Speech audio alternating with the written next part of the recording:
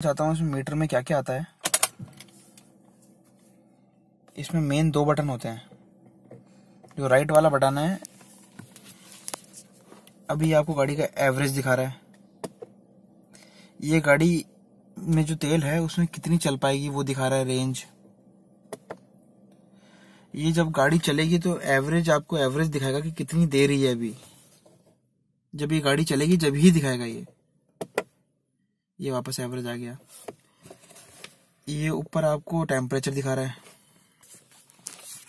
जो left side में knob है, ये आपको ट्रिप मीटर दिखाएगा। ट्रिप वन ट्रिप टू और ये मेन ट्रिप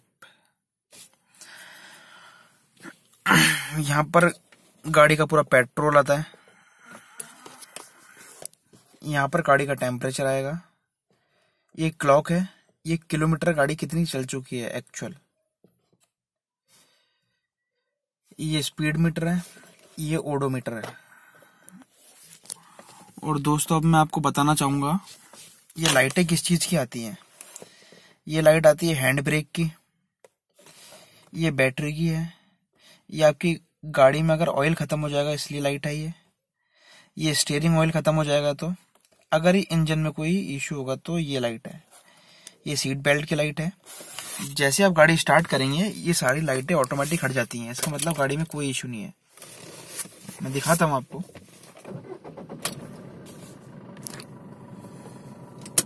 ये देखिए हैंड ब्रेक हटा दिया तो लाइट हट गई। सीट बेल्ट अभी लगाई नहीं है, इसलिए लाइट जल रही है।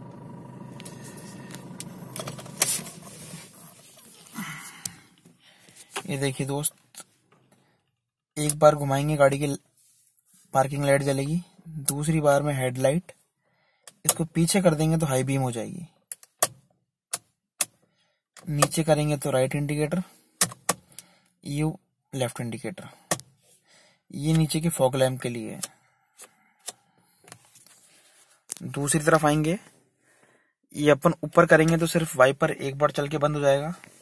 ये थोड़ा धीरे चलेगा। ये फिर उससे तेज। ये अपन ने बंद कर दिया। ये है रिवर्स के लिए। ये रिवर्स ऑन कर दिया तो वाइपर आपका चलता रहेगा। इसको यूँ ट्विस्ट करेंगे तो पानी भी आएगा। ये वापस ऑफ़